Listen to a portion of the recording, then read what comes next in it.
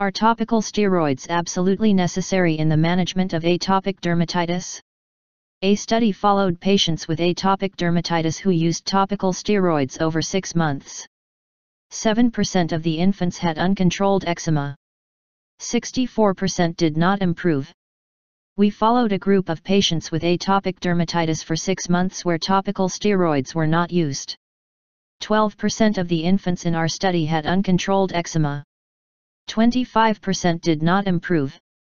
These photos are of infants from our study who improved over 6 months without using topical steroids. Parents who decline to apply topical steroids to their babies are sometimes considered negligent. Is this opinion justified? Atopic dermatitis has a tendency to self-heal. Not using topical steroids should be an acceptable option.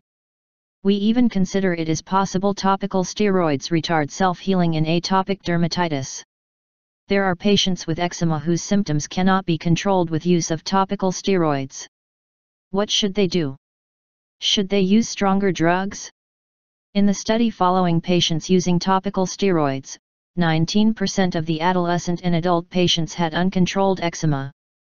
63% did not improve in 6 months. In our study where the adolescent and adult patients did not use topical steroids, 30% were uncontrolled. 20% did not improve in 6 months. Very severe patients with eczema who did not use topical steroids demonstrated a better outcome at 6 months than those who did use topical steroids. We suspect some of these patients had topical steroid addiction. Search and find our article titled, a prospective study of atopic dermatitis managed without topical corticosteroids for a six-month period for more details.